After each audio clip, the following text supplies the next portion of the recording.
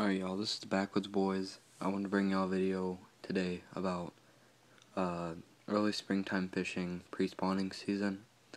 Uh, the fish will start spawning maybe late spring or the middle, so the bass will start getting more active. Usually the bass, most likely is what this video is towards for rigging and everything, but bass fishing is a big thing around where I live, so uh, this will just be a couple, couple rig up ways you can um, have some good luck with uh, bass fishing in early spring. So um, yeah, these are my uh, rubber worms I've got here. I've got uh, uh, Gary Yamamoto baits here. I've got uh, two Yum worms right here. Uh, these are Yum brand worms, but really I've had luck with this rigged up way. Um, you can rig up almost any worm. Um, it just depends what color. I mean, you just gotta experiment. You know, what day, what what the water temperature is, what what the color of the water is. So it all just depends on where you're fishing at. So uh, I'm sure this will bring y'all great great luck and stuff on the water. But uh, all right, here we go. This is called the uh, wacky wacky worm rig. It's called wacky wacky setup. So um, I don't know if you've ever heard of this or not, but it it it provides your worm with a great way to swim and look like it's moving very. It puts a great movement on it. Uh, this is a um, size one hook. It's uh, it's an octopus size. It's octopus. Um, octopus hook, and uh, it's almost like a gam gamakatsu hook. Uh, those are great brand hooks. I recommend them highly. Uh, size one works great for this. So um, yeah, I'm gonna show you how to rig this up, and then um, we'll go from there. Alright, so I'm back showing y'all how to rig this up. I've got my size 1 hook, octopus, octopus style, and um, yeah, so I'm going to show you how to rig the wacky style up first. Um, alright, so I'm going to start out with my 7 inch yum worm. Uh, it's watermelon colored.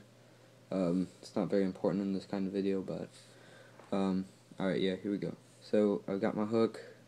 You want to find the middle of the worm. Now you can be very specific about this if you want fold it in half, find the middle or you can just guesstimate where the middle is. So that's what I'm gonna do for y'all.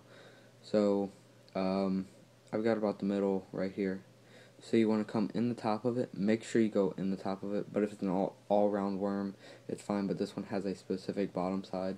I don't know if you can see it but the bottom flat and top is round and sometimes it doesn't swim as well when the flat side is uh, on the other way. But um yeah so you want to hook it on the through the top side Alright, so that's what I've got so far. So it's not very hard at all. You got the worm that's coming through here. And uh, yeah, so then you got that. And then you want to take your hook, take your hook and fold it through the bottom, like fold it around so it's like this, and come back out the top. So you've got it double sided. I don't know if it's very easy to see, but so you so you go in through here, and then you come back out the other side. But you want to put it to where it's not very visible, but it's got great swim action. Works great for pre-spawn season for early spring. Uh, it'll get them bass moving, especially with the action this worm gives off. Um, you just jig it a little bit. Don't really reel it much. It's just a slow moving bait. Works great that you can cover a bunch of water with it. Um, I highly recommend this. This will probably give you very good luck. Um, but yeah, you can do this with any worm. Uh, it's not very hard at all to rig up. And uh, if you have any more uh, suggestions on a video I should make, or you have any more questions about anything, I'll be bringing some more fishing tips videos soon. So um, yeah, let me know, and um, I'll make a video. So thank y'all. Like and subscribe.